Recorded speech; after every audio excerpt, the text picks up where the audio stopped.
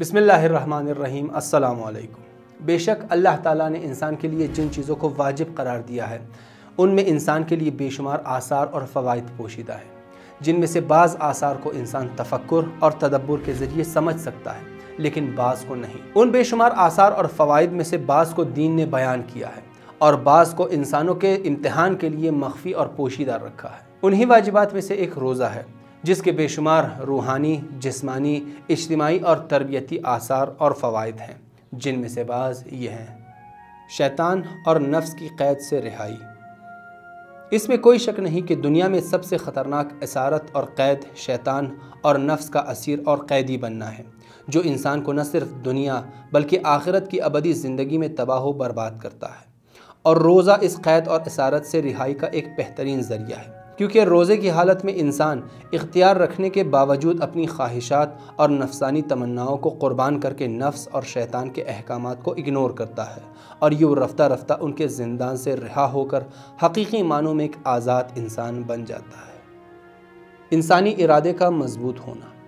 اللہ تعالیٰ نے روزے کو ایسے پروگرام کیا ہے کہ انسان کو ایک خاص وقت کے لیے حتی حلال چیزوں کو کھانے کی اجازت نہیں اور ایک خاص وقت میں انسان کھا پی سکتا ہے۔ اور اگر انسان ایک مہینے کے لیے اس پروگرام پر عمل کر کے اسے ریپیٹ کرتا جائے، تو انسان کے نفس کو اپنے اوپر کنٹرول اور قابو پانے کی عادت ہو جاتی ہے اور اس سے انسانی ارادہ مضبوط اور محکم ہو جاتا ہے۔ اور جب انسانی ارادہ مضبوط ہو جائے، تو اللہ کی بندگی انسان کے لیے لذت بخش بن جاتی ہے۔ انسان کے روح کی پاکیزگی۔ ماہ مبارک رمضان کے علاوہ پورا سال انسان کی توجہ اس کے جسم پر رہتی ہے اور روح کی جانب کوئی خاص توجہ نہیں ہوتی۔ لیکن روزے کی حالت میں اور ماہ مبارک رمضان میں انسان کھانے پینے کو محدود اور خواہشات نفسانی کو کنٹرول کر کے اپنے روح کی جانب خاص توجہ دیتا ہے اور روح کو اس کی ضروریات کی چیزیں جیسے عبادت، اللہ سے مناجات، قرآن، دعا، نیکی، احسان، غریبوں کی مدد نفس کو کنٹرول کرنا وغیرہ فراہم کر کے اسے پاک و پاکیزہ بنا دیتا ہے۔ گناہوں سے دور رہنے کا سبب۔ روزے کی حالت میں انسان پر واجب ہے کہ انسان کھانے پینے سے اجتناب کے ساتھ ساتھ ان تمام چیزوں سے دوری اختیار کرے جو انسان کے لیے مضر اور نقصان دہ ہے۔ اور دینی اصطلاح میں اسی کو تقوی کہتے ہیں۔ اور تقوی اختیار کر کے انسان اس مقام پر پہنچ جاتا ہے جہاں وہ نہ صرف گناہ انجام نہیں دیتا بلکہ رفتہ رفتہ انسان گناہ کے فکر و خیال سے بھی نفرت کرنے لگتا ہے اور یوں اپنے آپ کو اللہ سے بہترین اجر و ثواب لینے کا مستحق بنا دیتا ہے۔ انسان کے صبر کے پیمانے کا بڑا ہو جانا۔ ماہ مبارک رمضان کے روزے اور خصوصاً گرمیوں کے موسم میں جہاں انسان سخت گرمی میں بھوک اور پیاس کو برداشت کرتا ہے، یقیناً اس سے انسان کے وجود میں صبر استقامت اور برداشت بڑھ جاتی ہے اور سختیوں کو برداشت کرنا آسان ہو جاتا ہے اور رفتہ رفتہ انسان زندگی کے تمام مراحل میں ہر قسم کے جسمانی، روحانی، معاشی، اجتماعی سختیوں کو بخوبی برداشت کرنے لگتا ہے اور یوں معاشرے سے خودکشی، نشہ، شراب نوشی اور بہت ساری برائیاں ختم ہو جاتی ہیں۔ انسانی احساسات کا زندہ ہونا ماہ مبارک رمضان کے علاوہ سال کے دوسرے مہینوں میں انسان اپنی خواہشات کو پورا کرنے میں مصروف ہوتا ہے اور یوں فقیروں اور ناداروں کے دکھ درد کو محسوس کرنے اور سمجھنے سے غافل ہوتا ہے۔ لیکن روزے کی حالت میں اور ماہ مبارک رمضان میں بھوک پیاس کو محسوس کر کے ان نادار اور فقیروں کا دکھ بھی بخوبی محسوس کرتا ہے۔ اور یوں اس کے اندر انسانی احساسات زندہ ہوتے ہیں اور اپنی استطاعت کے مطابق ناداروں کے مسائل کو حل کرنے کی کوشش کرتا ہے۔ انسان کے جسم کی سلامتی۔ روزہ رکھنا نہ صرف انسان کے لیے روحانی، تربیتی اور اجتماعی حوالے سے مفید ہے، بلکہ جسمانی حوالے سے بھی انسان تندرستی کی جانب سفر شروع کر کے صحت مند رہنے لگتا ہے۔ اسی وجہ سے رسول اللہ صلی اللہ علیہ وآلہ وسلم نے فرمایا، روزہ رکھو اور صحت مند رہو۔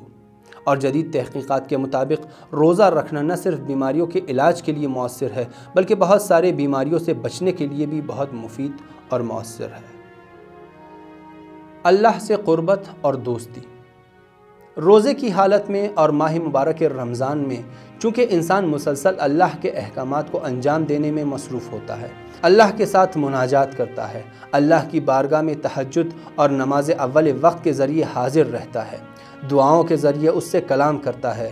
مختلف اعمال اور اذکار کے ذریعے اس کی یاد کو اپنے دل و جان اور زندگی میں زندہ رکھتا ہے۔ لہٰذا اللہ کے قریب ہو جاتا ہے اور اللہ کے ساتھ اس کی خاص دوستی ہو جاتی ہے، کیونکہ اللہ اس کا دوست ہے جو ہمیشہ اسے یاد رکھے۔ سکون اور آرامش حاصل کرنا۔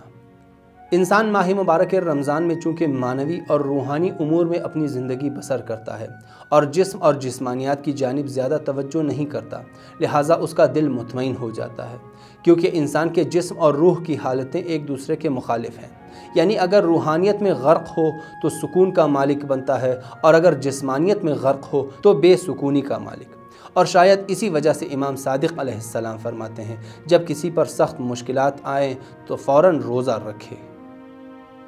قیامت کی بھوک اور پیاس کی یاد۔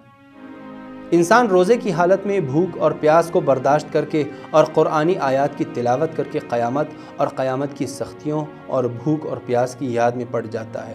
اور قیامت کی سختیوں کو یاد کر کے انسان کی عقل، انسان کی رہنمائی کرتی ہے کہ انسان ان تمام عوامل سے دوری اختیار کرے جس سے قیامت میں انسان سختیوں میں گرفتار ہوتا ہے۔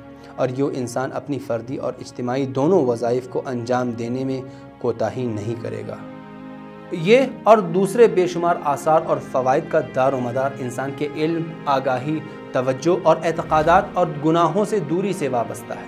یعنی انسان جس قدر ان صفات کو اپنی زندگی میں مضبوط اور محکم بنائے گا، اس روزے کے فوائد اور آثار کو اپنی زندگی اور آخرت دونوں میں مشاہدہ کرے گا۔ آج کے لیے اتنا ہی۔ اگلے ویڈیو تک اللہ حافظ۔